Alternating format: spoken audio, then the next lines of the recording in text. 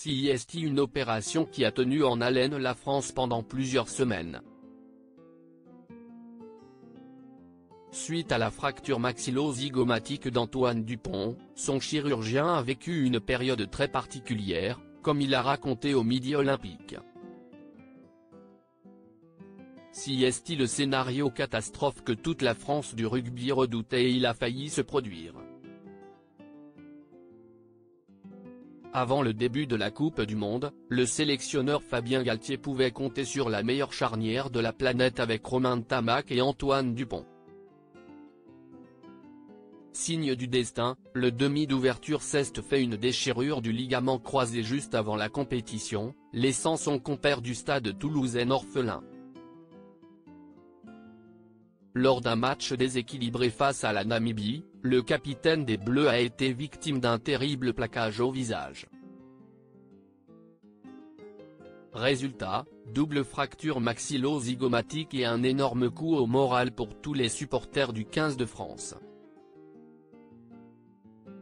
Heureusement, Antoine Dupont est tombé sur un chirurgien hors pair en la personne du professeur Frédéric Lauers.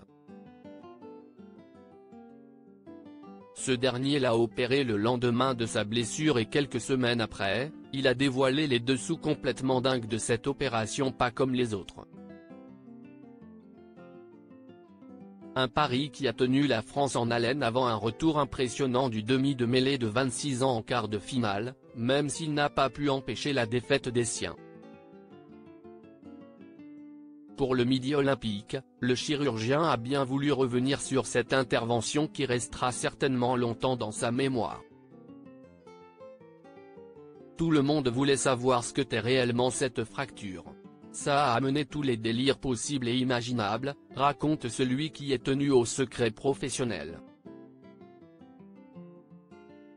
Entre la blessure et le retour d'Antoine Dupont, tout le monde a donné son avis sur cette opération et ce pari risqué des Bleus.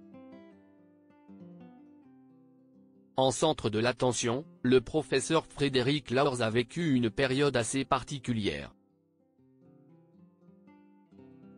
La théorie du complot a surgi de nulle part, au milieu d'une conversation sur les saucissons ou les fromages, je ne sais plus, se rappelle celui qui se trouvait dans un avion effectuant le trajet entre Toulouse et Paris pour assister au quart de finale face à l'Afrique du Sud lorsqu'il a entendu une conversation entre des supporters tricolores. Un de mes voisins disait, si est un scandale. On va le tuer. L'autre lui répondait, mais t'en sais rien. Je suis sûr qu'il n'a même pas été opéré et qu'il n'a rien. Si est du bluff. Sur mon siège, je me faisais tout petit, raconte le chirurgien, qui a vécu des situations assez rocambolesques au cours des dernières semaines.